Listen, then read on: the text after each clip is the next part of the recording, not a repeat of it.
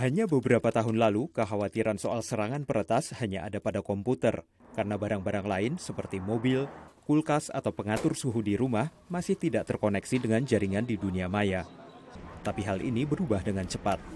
Most of the people will find themselves suddenly with uh, uh, any device that they know from the daily life connected to the network. Uh, and that's on one hand makes their life more simple, uh, convenient, etc. On the other hand, if it's not properly protected, that can create quite a lot of uh, um, issues, anything from basic usage of uh, the device all the way to uh, more severe um, cybercrime related stuff like uh, identity theft, um, etc. Banyak mobil modern kini dilengkapi dengan komputer yang terhubung dengan internet, baik secara langsung atau lewat ponsel pintar, sehingga lebih rentan terhadap serangan peretas. Pada Juli 2015, sebuah mobil Jeep Cherokee dihentikan peretas lewat pengendali jarak jauh.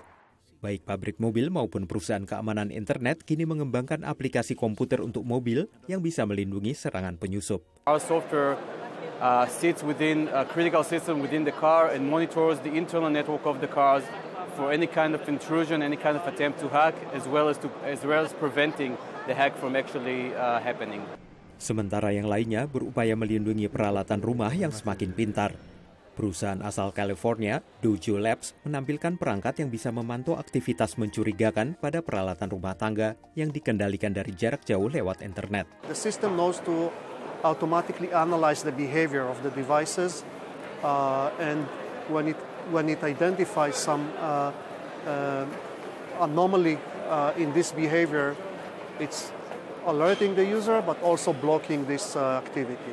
Seiring dengan berkembangnya Internet of Things, yakni adanya beragam peralatan yang terhubung dengan internet, maka menurut para pakar, keamanan dunia maya pribadi kita sangat perlu dipikirkan.